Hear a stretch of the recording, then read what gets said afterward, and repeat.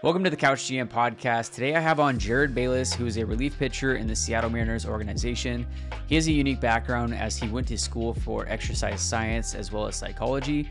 We have a great conversation talking through his background up to this point, as well as how he has applied some of those principles that he learned throughout school and applied it into his everyday life as a professional baseball player. He's posting a lot of great educational videos on his Instagram at Jarod Throws. Also, make sure to check out his blog, jarodthrows.com. And so, if you're hoping to learn more about how the body moves and with pitching, make sure to tune into this podcast as well as checking him out across social media platforms. If you'd like to support the Couch GM brand, make sure to like and subscribe on YouTube. I'll also put a link in the description below to all of my social medias. As a reminder, I am a mortgage loan originator during the day. So if you're thinking of buying, selling, or refinancing, make sure to reach out via DM or visit my website, lenderconnorwebb.com. And if you're looking to find a Christmas or birthday gift for a sports fan, make sure to check out glance-led.com. Use discount code CouchGM on the Glance LED ticker to save 10% off and you'll help support the channel. And with that, let's get into the podcast. All right, welcome to the Couch GM podcast. Today I am joined by Jarod Bayless, who is a pitcher in the Mariners organization. So, first off, Jarod, really appreciate you uh, taking the time today. Absolutely, Connor, man. I'm excited to be on and looking forward to getting to chat with you.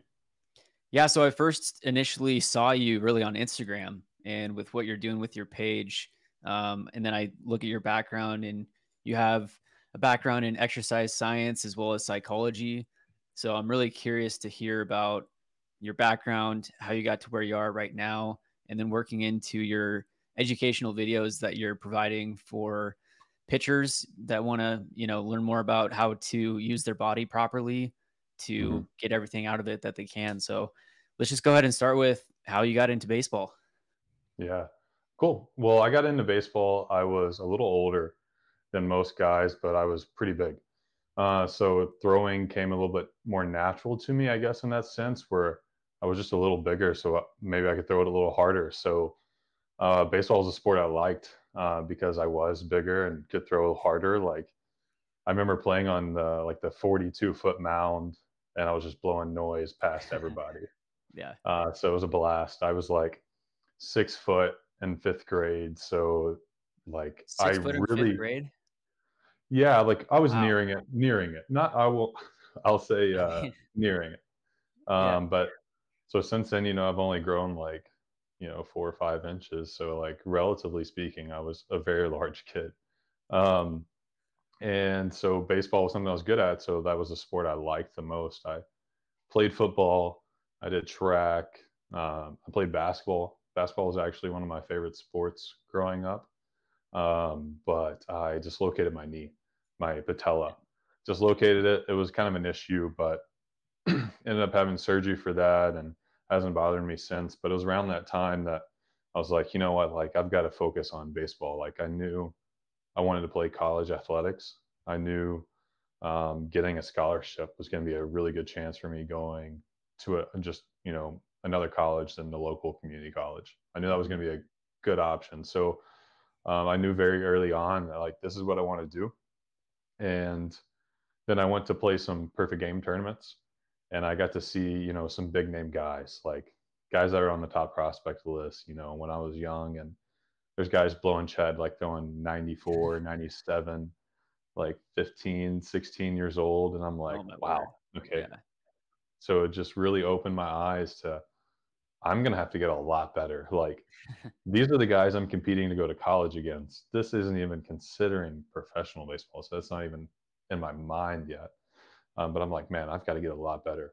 So then i realized um, i'm going to have to work. Like it's not going to come easy. And I didn't mind doing some of the stuff that other people wouldn't. So this kind of like was the start of something that I call uh, low skill, high effort things. And it's really where I try to like maximize my career is doing things that uh, they don't require much skill, but just require effort that are kind of, you know, surefire way to get those marginal gains.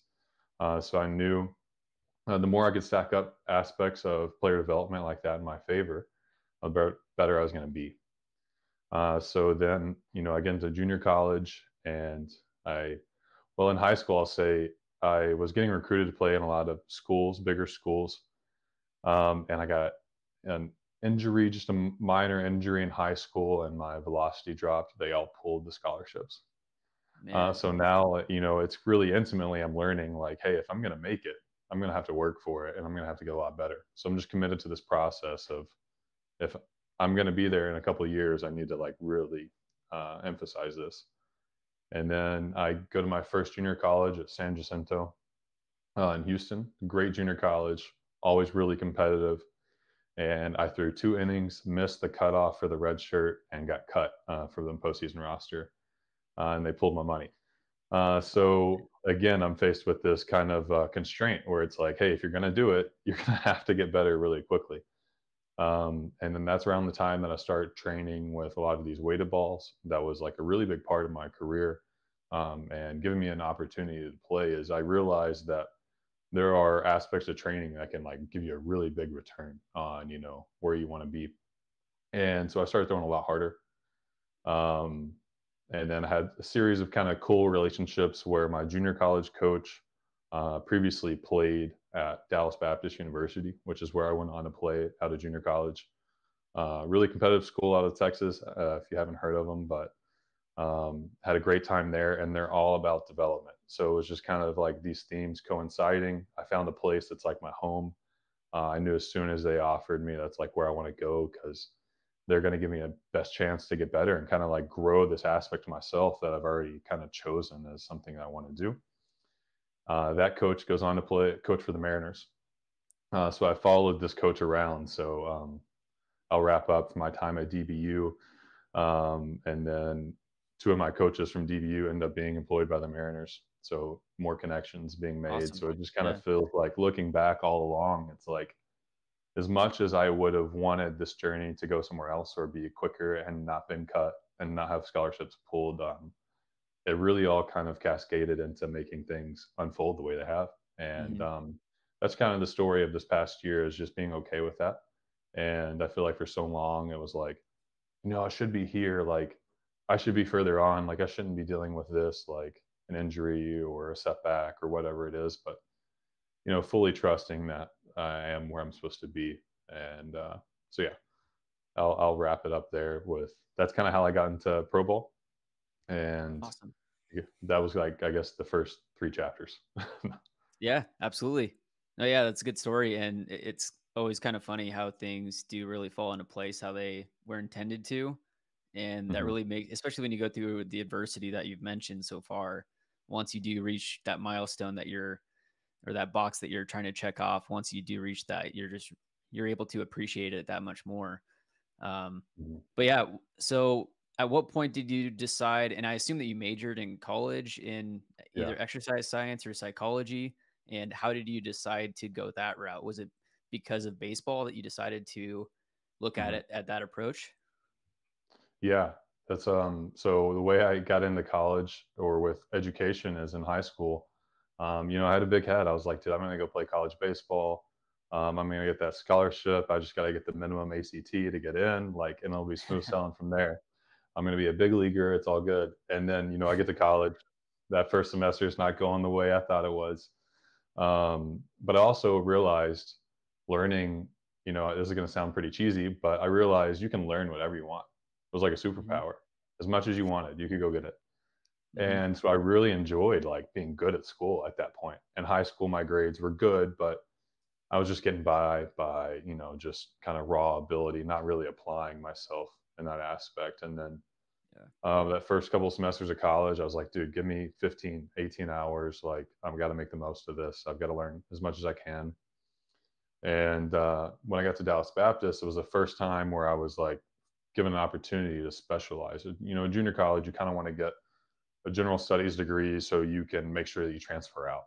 Um, mm-hmm. It's not all your classes may transfer to the four year school that you go to. So I did bias the sciences because at the time I thought I wanted to be a physical therapist. Okay. Um, but when I got into Dallas Baptist, I got into exercise science and had a great head of that uh, part of the college. Adam Ross uh, was our strength coach at the time at DBU and um, he had a really tough class. So he really forced us to kind of like, if you're going to learn it and you're going to pass this class, you really got to learn it. And so I guess that's kind of coinciding with the Instagram. How it started is uh, the way I kind of run my Instagram is I wanted to be a living portfolio for mm-hmm. when a time came and I was done playing baseball. I had a living resume that you could go see and see where I had uh, started out and you know kind of how I've evolved my training or the topics and principles that I was discussing on that. Uh, so I knew like same thing with my education that I wanted to set myself up to have a good, um, you know, job availability post baseball. And yeah. I think that's uh, something that we we lose as um, athletes is everyone else has time. They can go get an internship. Uh, they can go do volunteer hours and they can really build up that resume. But as a baseball player, you're playing summer ball all summer. Uh, you don't have free time in the fall to go get an internship. Uh, so I knew I didn't have that opportunity to kind of like make myself appealing on paper for a resume. So this was kind of like my creative way of through my education preparing myself for that as well. But the Instagram kind of that was like the way it started originally. Yeah, that's awesome. Um, and yeah, as you're talking about, you know, baseball players don't have much time. It's like when you're not on the field, you're probably trying to recover, to eat, to sleep. You know, you're just exhausted from all the work that you're putting in on a day to day basis. A um, couple questions off of that. The short short question is, do you have a YouTube channel yet? And then number two is, I'm curious the difference between, you know, exercise science versus physical therapy. I feel like a lot of those classes would be under the same umbrella. So at what mm-hmm. point does that split off and what exactly is exercise science versus like physical therapy or kinesiology, that type of thing? Yeah. Yeah. So I, I don't have a YouTube channel yet. I would love to, but um, I'm learning to edit content and getting familiar with like Premiere Pro and some of the Adobe Suite products. So I'm trying to uh, to learn what I can, but it's a lot of work. It's a lot of you know ideating content behind the scenes to to make the most of your time. Like, so I'm growing. So not yet, but I would love to have one in the future.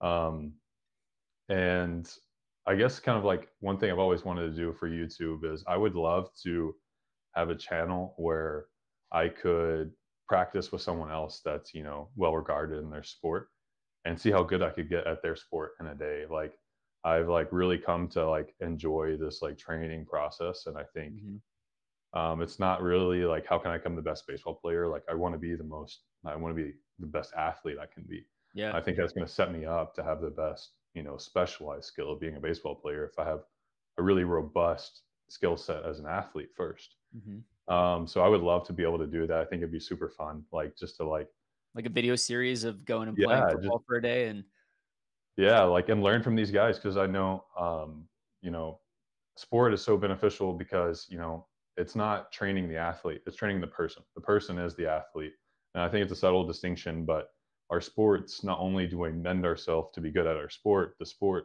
mends us as well and helps us become better people. And I think it would just be a great avenue to to learn. You know, um, baseball has different you know attributes and the culture behind it than basketball or football, and how that manifests itself in the people that are successful in that field. Like, I think it'd be a great conversation. So that's something I would love to do in the future. uh, yeah, that's a great idea. Um, but as far as like exercise science and physical therapy, is I'm not really sure. Uh, physical therapy is a lot more school. You got to go and you got to become a doctorate of physical therapy. Um, and that's like three years where you can only take a few days off a year. Um, it's just not very feasible for someone who's still playing or a college athlete if you wanted to get a head start on something like that. Mm-hmm. Um, so like off the bat, I was like, well, that doesn't seem very realistic that I'm gonna graduate at 23 and then whenever I'm done playing, hopefully at like 33, you know, whenever. Yeah um, go back to school for three more years and it'd be super rigorous and not having been practice and the information like i was like this isn't very realistic for me. Um, and now like i said it's it's become much more like how can i draw on this information to help me as an athlete? Like initially it started out as i don't know how long i'm going to be playing this game. I got to set myself up for a good uh, post baseball career avenue. Um, and now it's kind of like let's let's make this all be one thing instead of viewing it as two concurrent things. Like it's just one thing and it's trusting that all this information is going to help me be the best athlete, player, and person that I can be. uh, and then just trust that that sorts itself out down the line. That I know if I give 100 myself percent of myself to this, that um, I don't really have to worry about propping myself up post career.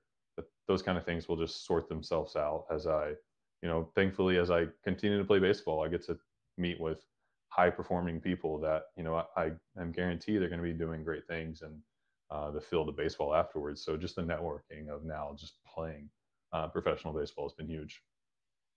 Yeah, absolutely.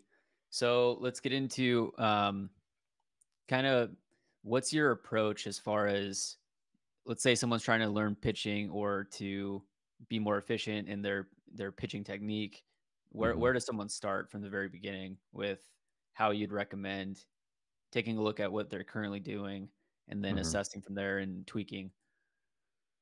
Dude, it's, it's so much goes into it, and it's like that's like uh, the past you know 15 years of my life or you know 12 years of my life however long it's been um, has been just refining each and every one of those aspects because what it takes to make it um, is it's not just the tactile skills of the sport like being able to sweep the slider and, and locate the two seam and pick guys off and you know hold runners on base all that does matter um, but if you as a person you know aren't at a level to where you can display that upper end performance of yourself regularly and whenever necessary, um, then it doesn't matter how good your curveball is or how well you can locate. If you can't access it very frequently, um, you know, whenever you need to. Uh, so there's just so much that goes into it. Um, but you know, one thing that the guy I train with, he has a saying. It's called "train like a child," and um, you know, kids are fearless. They're willing to learn anything. You know, I feel like as we get older, we kind of like educate ourselves to, you know, be a little bit more timid with exercise and and lose that creative process. Um, because I think like just playing, you know, um, I think that impacts a lot about how you go about training. And I think, you know, for a lot of guys, it's we've been coached into the way you should throw, like air quotes, the way you should throw or the way it should feel. Uh, so then you're layering all these expectations onto the throw. And that's kind of like what I've really tried to apply in my career this past season or past few years is limiting those um, layers that I'm layering on top of the throw. As I think about, I know this is going to be super abstract, so let's see if I can communicate this.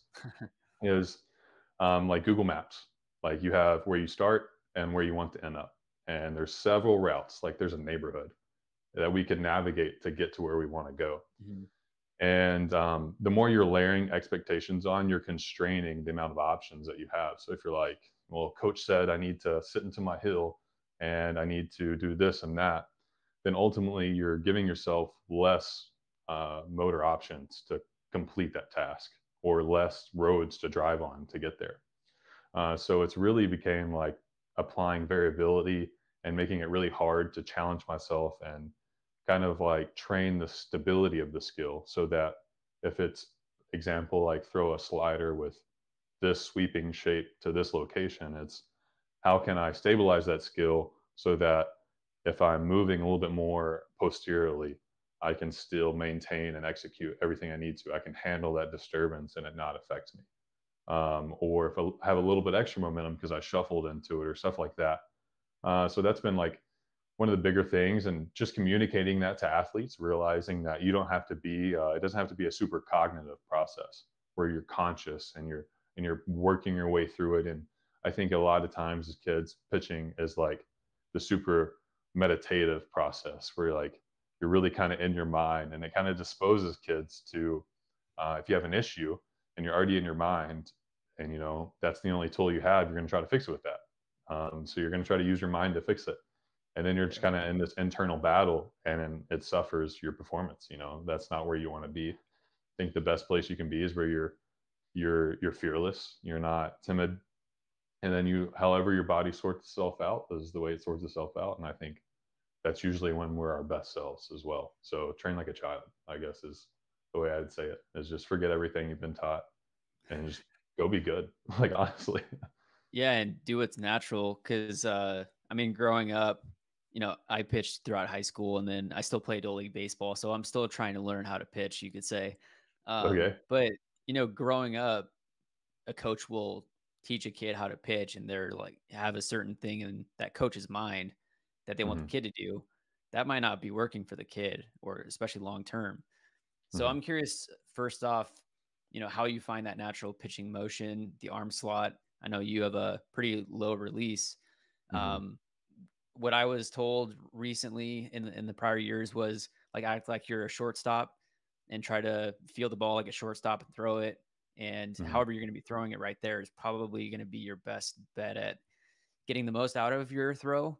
So, and then yeah, it's been a matter of. I feel like if you're the, the less you have to think on the mound, the better you'll be off because you know, I had a teammate tell me like, "Hey, it doesn't look like you're using your legs too much." And then in my head, I'm like, "Okay, now I'm just focusing on driving off my leg and I feel like I'm not yeah. getting everything." But then this off season, you know, I've been seeing some videos of a coach that's like, "Hey, okay, uh, throw normally." And then once he does, it's like, "All right, now use the uh, least amount of energy possible in order to throw it as hard as you can. And then so the guy is super slow, and then at the end, you know, he goes really hard, and it's like the same speed, but he looks like he's barely even trying. So yeah. it's like now I'm focusing on just being natural and then like fast at the end. So I, I know that was kind of a long response, but it's like the less you have to think and the more natural it feels. And then also if you could speak to the kind of whippiness and how you yeah. found your arm and all that. Yeah, absolutely. I, you know, just the way you're talking about it, one thing that like I found, and I've kind of broken this down and the way I view it is I think about, you know, where your awareness is. So like if you're working on the shape of a pitch, you're, you're going to be really concerned with the way it's spinning on the way to the target. You're trying to look for the spin, like, yeah, that's the action I want, or that's a curveball or a gyro, you're trying to see the dot or whatever it is.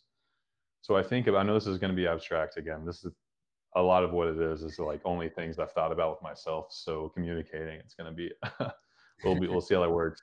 Um, but where your awareness is is going to be like just imagine for a second that's where you physically are because uh, whenever you're looking at the way the ball's spinning you're not really concerned with the awareness of your body you're not really actively sensing and tuning in with that. You're tuning in with the way it's spinning. And then if you were trying to hit a spot and you know it's 3-0 and you absolutely have to throw a strike, that's all you're concerned with, then you're not really concerned with how it moves or how your body's moving. So there's three different places your awareness can be. It can be over the rubber with you focusing on your body. It could be in between you and your catch play partner. And then it could be at the target, focusing only on location. And so as you go through your catch play, I think it's natural to um, bias each one of these three places. There's going to be a time where you need to focus on getting to your legs, you know, like you were saying. Uh, but ultimately in the game, you probably don't want to be prioritizing, um, right? You know that. So it's kind of like, and then you know you're trying to get the shape of the ball. So taking moments where you're intentionally giving your mind confines of where it can exist, so to speak, to leverage that for your favor. So knowing exactly what it is you need to work on and then and putting yourself in a position to where you can work on that and it be okay. Like if you're working on shape, um, you don't want to care about its location as much or potentially how you're moving as much. When you start juggling a lot of those and you're actively kind of thinking through them, it, it really limits you as far as how you can move. I don't know if you've heard of the term analysis by or paralysis by analysis. Oh yeah. Uh, yep. But yeah, it's like the physical manifestation of that. Uh, your body when you're tense, like it flexes up. Um, the flexors are more dominant, and you kind of lose that rhythm and fluidity of the movement. So it's kind of like just being in the right place is huge. Um, sorry, I'm trying to think of the the the. I was just kind of responding to the, what you're talking about and what you were working on. Um, oh, and then also talking about using the arm like a whip and how I found my arm slot is that's been huge for me is one of my teammates. This is just an incredible story of Tim Elliott, one of my teammates who was with us with the Mariners. Um, he was injured and coming back from injury, and his velo wasn't quite there. So it was like, hey, we're going to give you some time to to work on this, and we don't want to put you out there in a position where you may not, you know, have the success or the game's going to be different than when you before because you're not throwing as hard. So we're going to give you some time to like go ahead and build this up and work on this. Um, and he's working really hard, like really hard at this for a couple weeks. And then finally, um, he's throwing a bullpen and he threw 15 of them and took a five minute break. We call that an up down, like because mm-hmm. you're you're throwing and you go down, you throw another one. Yeah. So he throws his 15. I think he's averaging like 89 miles an hour, hit a couple 91s. And then he throws like five more in the second set of 15. And our pitching coach is like, hey, Tim, I want you just to, he's, he takes a deep breath in. So as he's going through his windup, he kind of is like, and like takes a big breath in. And it's like, hey, I want you to just let that air go when you release. Uh, so then he said he would breathe in, and then at release, he would like grunt and let it go. And then he goes 91 and does it again 93, does it again 94, Jeez. does it again, ends up at 96 miles an hour. And oh, uh, just unbelievable. It's like, and it was super transient. Like in a moment, he gained seven miles an hour. Yeah. He started the bullpen averaging 89, ended 96. Unbelievable. It was just truly remarkable. And I was talking to him, and he said it felt like whenever he let go of the ball, that there was no energy uh, left in his arm. It was like weightless. It wasn't like he was trying hard after release. It was like he tried hard, it built to a peak, he let go of the ball, and then there was no energy left in his arm because he applied it all to the ball. Yeah. And so I started playing around with that cue of like kind of like slingshotting it, like a like the old slingshot where you whip it. Right. And uh and that's whenever I kind of found like my arm slot just becoming a lot more natural. And I think a lot of that in part is due to the sequencing. If you, you know, if you look at a whip, the more proximal end of the whip closest to the handle needs to accelerate and then decelerate so that the next link of the chain can accelerate and decelerate so the next one can accelerate. So there's this right. process of your your torso needs to accelerate and then decelerate so that your arm has time to take that momentum to the next link of the chain and then accelerate. So mm-hmm. whenever you apply like effort as a constraint, you're forcing yourself to sequence better. And this is something I do in my catch play all the time is I'll start out at like 120 feet and I'll say, I'm not allowed to try any harder than I currently am. It'll be subjective. Like it's not hard and fast, but just say, I can't throw any harder than this with more effort. And then have your partner go back 10 feet, go back 10 more feet. And if you're able to continue to throw it further, you can optimize your angle, but it gets to a point where the only way to throw it further is to sequence better and to be more efficient. Um, mm-hmm. So like pairing that kind of with the the whip of the arm, you kind of like, yeah, I'm just I'm using a lot of words and have used paragraphs to describe this, but you learn it more intuitively. That's like yeah one of my biggest pet peeves is like whenever an athlete tries to discuss something like this to their coach, I'm like, you're just in your head, you're overthinking it. And it's like, do you realize how complex like movements are, sensations are, and then just trying to effectively communicate it to someone so that they understand it? Like, yeah, you're gonna have to talk a lot. You're gonna have yeah. to explain a lot. That doesn't mean I'm like actively piecing this together as I'm trying to throw. It's just kind of I know it so well, I don't have to use words whenever I'm just going through it in my delivery, but to communicate mm-hmm. it takes a long time. And I feel like I've, if I'm speaking to any kids that that's happened to you, I'm sorry. it's happened to me all my career. Uh, but yeah, keep doing it. Keep tr- struggling to communicate it because it's in that process that you learn, you know, what you're trying to do and you get better at describing it. Yeah, and everything that you're talking about, some of the the guys that might already be at a, a high level, they're probably doing all the same stuff that you're already describing. They're just in their mind, yeah, processing it in, in a different way, where they don't have the words to do that because that's just what comes natural to them. Mm-hmm. So, but yeah, that's really interesting to hear. Um, so then, kind of walk me through what does your you know week look like? What does a, a workout routine look like um, with what you're doing to optimize all these different functions? And then mm-hmm. I'm curious, like, what your pregame routine looks like because I'm sure you've got a process with that too. Yeah, I do a little bit, and my training it's um, it's a little bit more unconventional um, in the sense that not a whole lot of other guys are training in a similar manner, and it's it's very subtle. Um, like I said, this is something that I'm very passionate about, exercise science, and, and it really comes down to just eliminating the the randomness of getting better because there's so many variables and factors that you can't just like maintain in your head at all times. There's too much to consider. You would never get anything accomplished. So it's like, how can I give myself the best chance to have things go in my favor? And you know, with that is strength training and and really what I've come to believe is it's the program that you're convinced by the most, the one that you fully believe I'm doing the work necessary to end up where I need to go. Um, and so for me, I have trained with some different people along the way, but ultimately I'm I've landed with this guy that I'm training with now. His name's Brady, uh, and his Instagram's like Dak Performance and Health. Um, is I'm convinced by the way he kind of goes about training. Is it's uh it's technically called an undulating periodization, so it means just ever changing. Mm-hmm. And the best way I can think about it is traditionally, uh, people kind of have a block, right? So they would focus on hypertrophy, like getting big for four yep. weeks. And then they would say, okay, now we're going to do, you know, a different phase, power or force or speed. Or maybe they break it down to where one month is eccentric, the next month is isometric, the next month is concentric.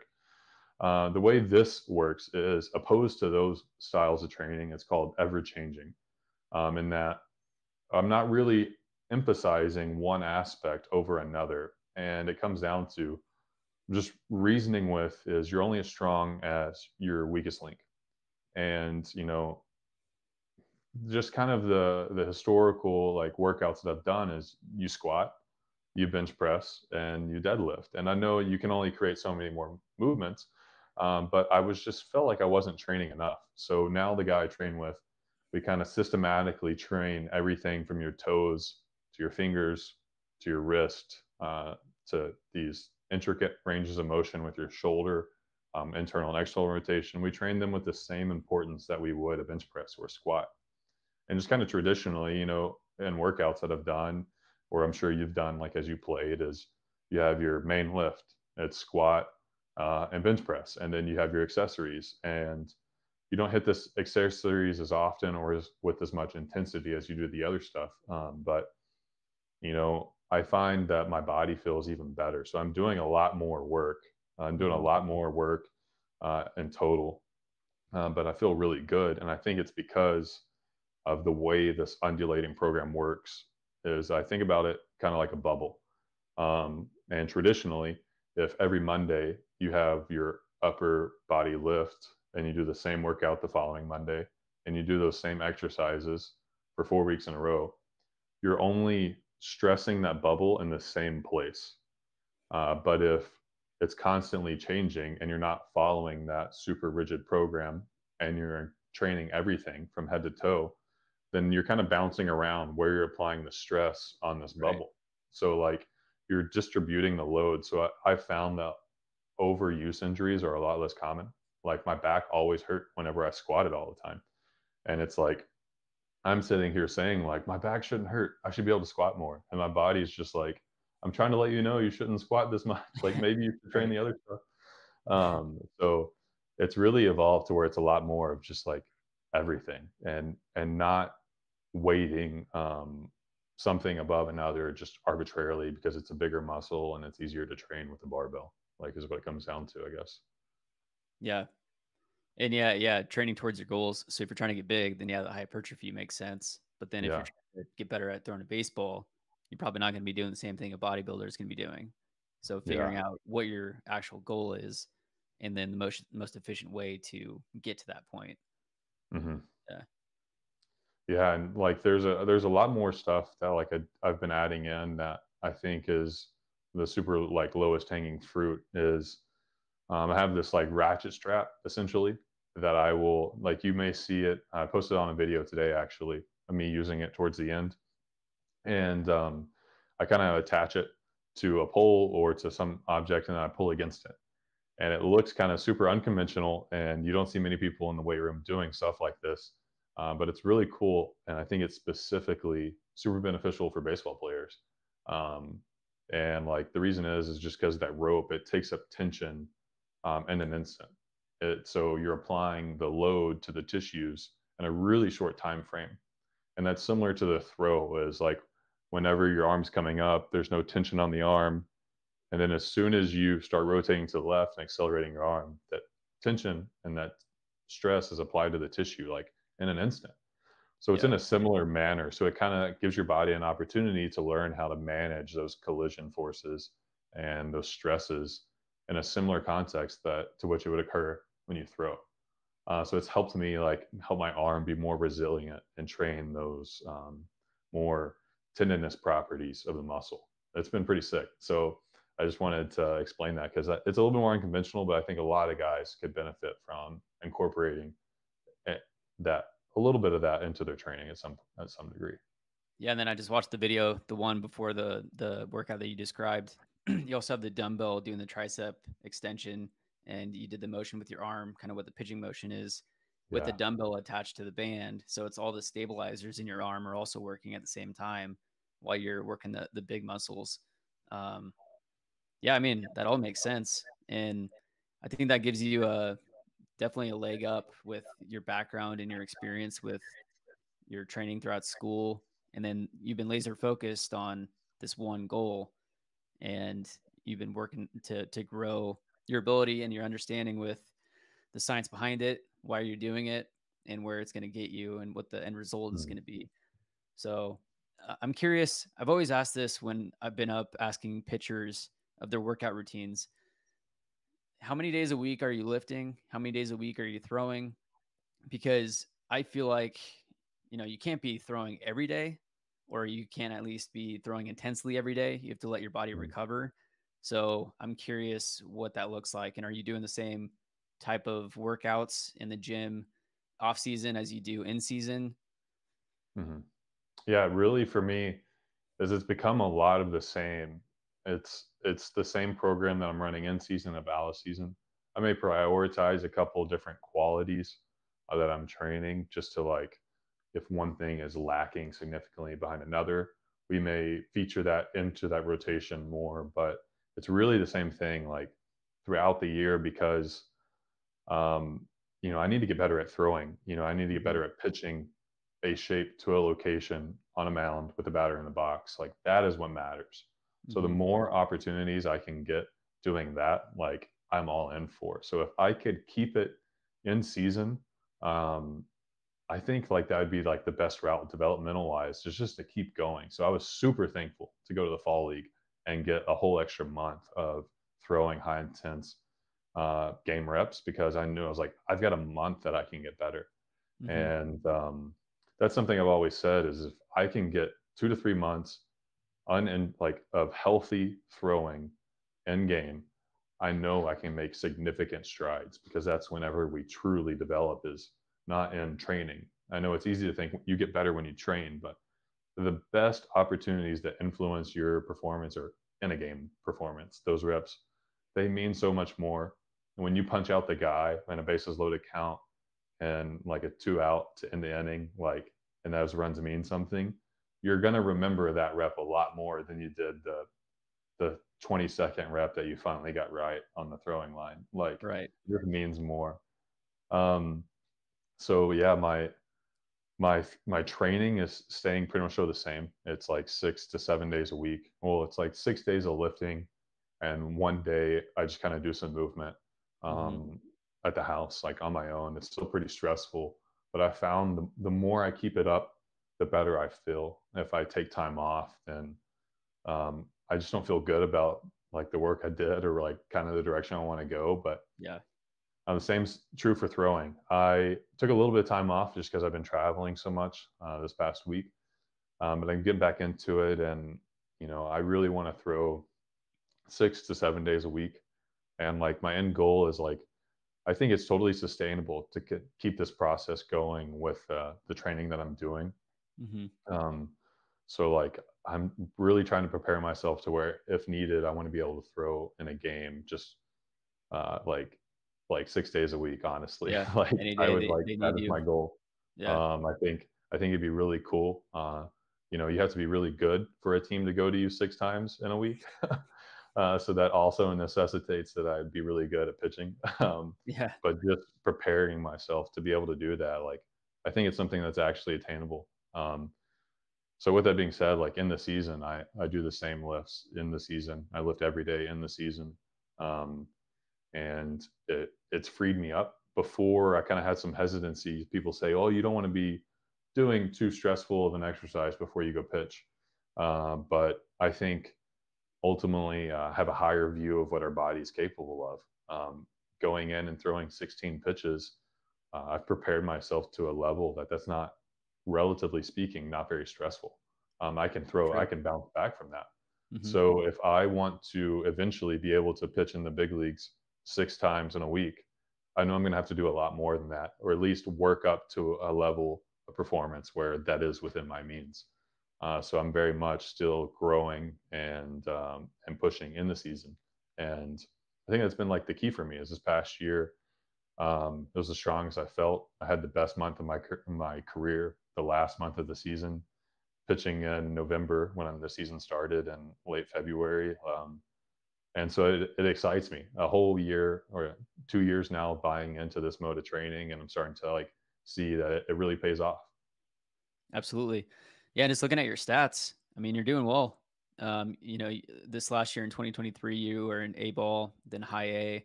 You were uh, pitched two games in triple a. But your strikeouts per nine is 11.5 so you're over one an inning your walks per nine is at like a George Kirby type level at 1.3 walks per nine. So, and I'm curious to hear, you know, what the Mariners' philosophy of dominate the zone. What does the dominate the zone camp look like? And then, I mean, just speaking to to your success, also a whip of 0.842. All those stats are phenomenal. So, what ha- what's been the driving force in that success um, so far? Yeah, I, I, there was a really big switch from the past couple years to this year and it was just choosing that um i guess inadvertently maybe subconsciously just avoiding um you know the uncertainty of like not pitching well like that's a real thing that you have to like be like i'm going to go out there and do everything i can and if i just get rocked i get rocked and being okay with that um so i had a bullpen like early on in spring training where i was like i wrote out every pitch and the location that I wanted it to go. And I gave it to the coach and said, Hey, like, Mark, where I hit it. Because I was like, dude, if I'm going to get exposed and this is going to be a rough year for me, I want to know now so I can start mm-hmm. like working on this a month before the season starts, like, and like use these next couple reps to be better. And I realized just kind of like that was the mentality that I needed to approach with every day. I was just like, having just a fearlessness and relentlessness, just fully giving myself up to the goal. So it simplified a lot of things for me to where before I may have I may have allowed myself to think too much while I was on the mound about various things. Um, but just like having just a very narrow focus on what it is that I want to do. And then, okay, let's try to go do it. Mm-hmm. And um, things like went a lot better this year. um, things, uh, and it was more consistent. So like that's kind of what I want. It's cool to see that like the the throwing training I do is manifesting itself in like um, throwing a lot of strikes. Um, so I know that's something that the Mariners, I guess I'll say, is I've told my strength coach, hey, I'll do whatever it is. You just have to convince me. He's convinced me of this training, so I do it. I've told mm-hmm. the Mariners, um, hey, whatever it is you believe I need to do to get better, you just have to convince me. You convince me, I'm all in. Mm-hmm. And so that's kind of the burden of proof I put on my career. It's I only have one chance at this and I want to do the best thing for me that I can prove to be true so that I believe it a hundred percent. I can get my whole self behind it. I'm not holding anything back because I don't know if this is going to work. Well, the Mariners have explained everything like just so well for us on what it takes to be good. And I think one quote from, uh, uh, I think it, it was Andy McKay said this, talking about, you know, could be the best pitcher in the league. So if he throws majority of his counts, uh, throws majority of his pitches in 1-0, 2-0, 3-1 counts, he'll never pitch in the big leagues. He has no value. Mm-hmm. Um, and you know, there's there's stats that show like if you throw a ball in the strike zone in an 0-0 count, you have like a 94 to 96 percent chance of getting the ball back in your glove with one out or one strike there's only a 6% chance that they put the ball in play and it's a hit or it's wow. a home run. Wow.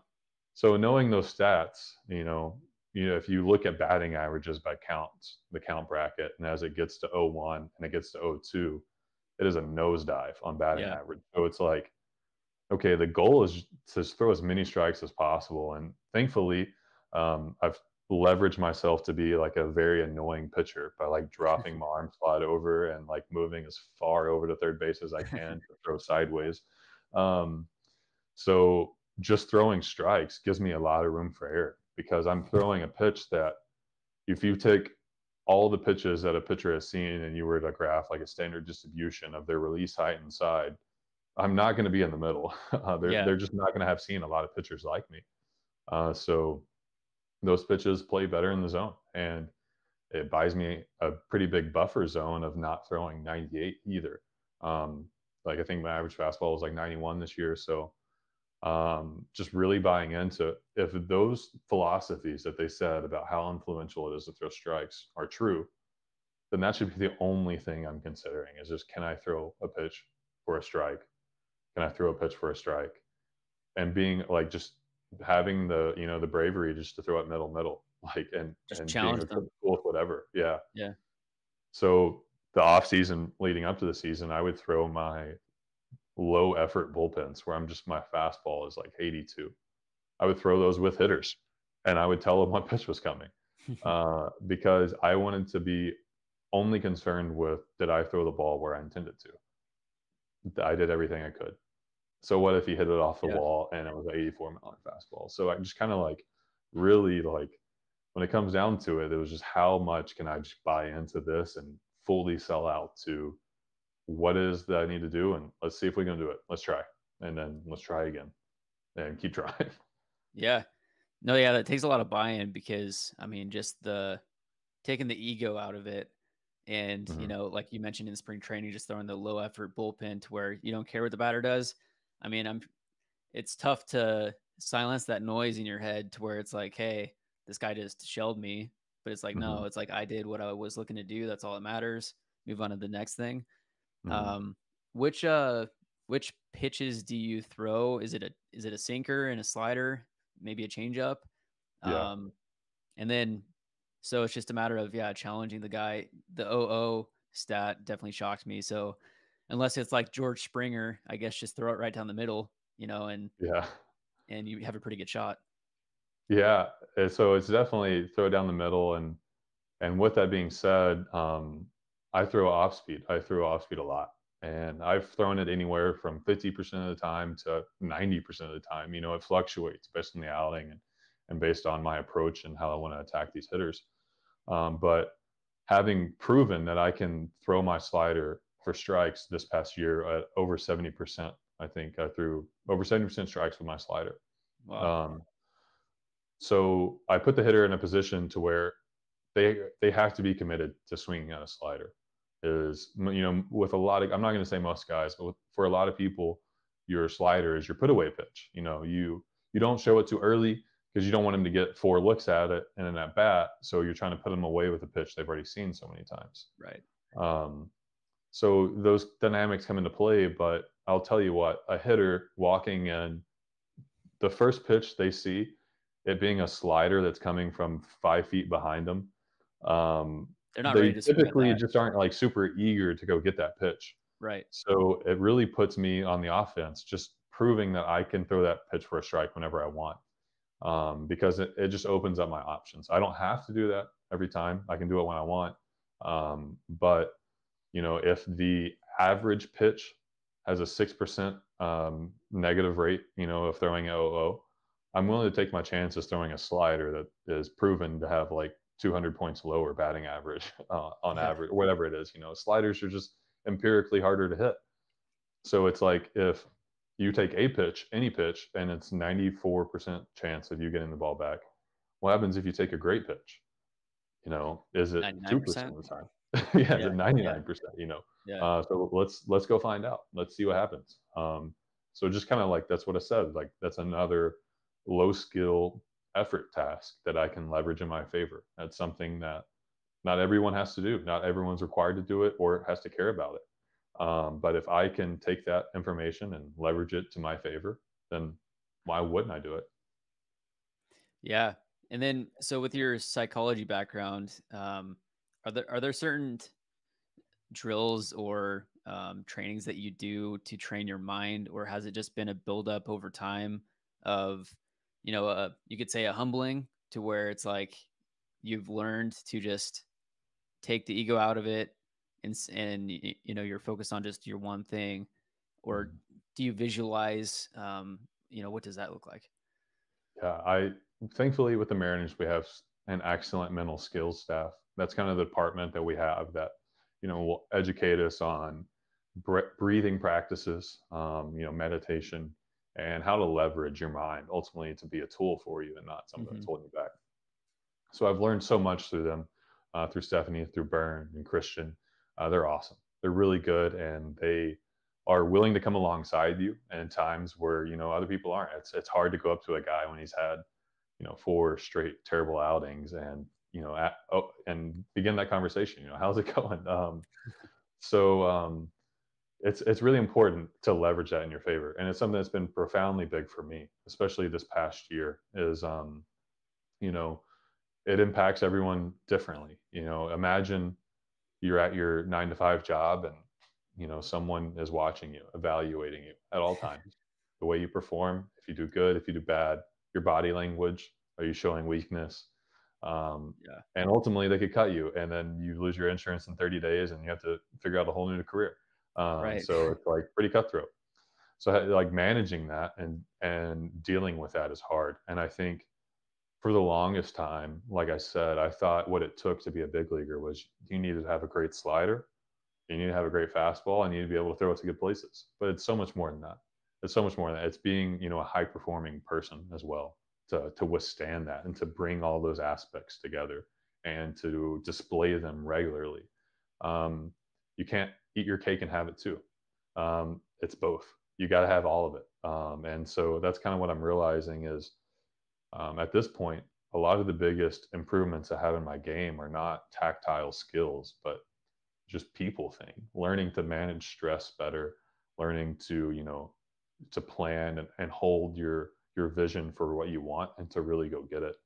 Um and that was a big part of that for me this year was just is realizing that you know it's not guaranteed. No one's going to come help you. Like you really have to mm-hmm. look yourself in the mirror and see like what it is that i want and can i go create it? Um, so it's been it's, it's been really big and i think the biggest thing has just been um, bringing it all together. Like uh, the way i approach my life when i'm training um, and the way i approach my life whenever i'm doing the dishes is it's not like uh, they're two separate things. And if you're a really bad uh, person at home and you're, you're just like not locked in and you're not all those qualities that make you a good athlete as well then like you really like haven't incorporated that into like your being and like who you are as a person. And uh, so I feel like a lot of it's just been combining all that to just like taking the same, like whenever I go to a workout and I, you know, I realized that this is an opportunity to to make myself into someone who can pitch in the big leagues. Like taking that same level of intensity and engagement to to all aspects of my life, to conversation with you, and you know, uh, I think that I think that plays in big because then when you go compete, you have a free conscience. You know, I think uh, a lot of people you know they have some kind of performance anxiety and, and it's a tough pill to hear but um, you may not be doing the work necessary. I think you have to convince yourself you don't want to you don't want to be fearful and you want to be confident. Well convince yourself that you're confident. Um, go do the work necessary uh, and do it over and over and over uh, until you can convince yourself that like hey i feel okay like saying i feel confident because i am. Um, yeah. and it's just like realizing that those symptoms you know that that may when things aren't going right those symptoms of anxiety you know um, you know having anxiousness about your performance you know dealing with an injury recovering or not is uh is really just kind of like letting those go and not holding on to them too tightly i don't know like it's kind of getting more out there and I, i'm trying i feel like i'm rambling a little bit so oh you're good no um so what do you do when you're off the field and you're just trying to de-stress, you know, mm. not think about anything. Uh, I feel like you might do some meditation also. Um, yeah. Or, or like what kind of what what has helped you with that? I um yeah I meditate. Not I'm not not very good at it. I'm trying. Um, I have some meditations that I do. It's uh, this guy named Joe Dispenza. Um, I really like his stuff, and I've read his book, "You Are the Placebo," and he just kind of talks about the placebo effect and and how you could uh, leverage some of those aspects to to you. And it's it's a wonderful book, like super uh, convincing. Uh, and a lot of the stuff you read it and you're like, oh, of course, I like that make that just makes sense. Uh, so doing that, uh, trying to read more this off season as well. I'm looking at a collection of books over there that I need to crack open. And nice. also I play disc golf just to like stay competitive. I also okay. like I feel like it couldn't be a bad thing for my arm either. Just like being able to handle more stress and mm-hmm. and being able to do whatever I need. Like it's a lot of fun, and I enjoy like being good at it. Trying to be like I want to be the first pro baseball player and pro disc golf player. I think that'd be pretty sick. Oh, but oh yeah, is there a professional way. disc golf league? Yeah, yeah, it's a real thing. There you go. Yeah, I've seen videos on like TikTok of guys throwing it like 100 yards around a bend between trees and that yeah. type of thing. That's like they they like did like a four in competition where it's kind of like sidearm slot and guys are throwing it like 83, I think maybe like 86, 87 miles an hour. I looked it up and a disc weighs disc about golf? five ounces. Or with the disc? Yeah, like disc golf. Wow. Like these are the best players. You know, they're signing yeah, yeah. like hundreds of thousand dollar deal, million dollar deal. Like they've got good arm strength and they're good. But I'm like, hey, if this guy can run it up to the mid 80s, you give me a five ounce disc. Like I bet I can, I bet I can send it pretty far. So um, I'm trying to harness that skill and trying to like use my baseball. So that's the real reason that you found that arm slot was for disc golf after. Yeah, yeah, yeah. Getting that's ready awesome. for the tour. Uh, yeah. And then how much how much of a role does sleep and nutrition, those types of things play into it? Are you eight hours a day plus you have to get you know mm-hmm. seems like you're pretty regi- regi- uh, regimented on what you do so i assume that you're pretty strict with with your sleep schedule and nutrition and all that too yeah i wear this uh well here it is uh this whoop uh yeah, tracks your sleep let's go oh, i'm always in the red but what's up you're always in the red. I said i'm always in the red unfortunately yeah, it's hard. I know people are like people call it the random number generator because it's just like it might as well. It just always says I'm in the red. What's the point of wearing it? Right. Um, but no, it's crazy. I, uh, this thing, I love it. I love wearing it. I use it to track my sleep, but um, I've like gone through this this phase where I used it, quit using it for like six months, used it again for like a year, quit using it.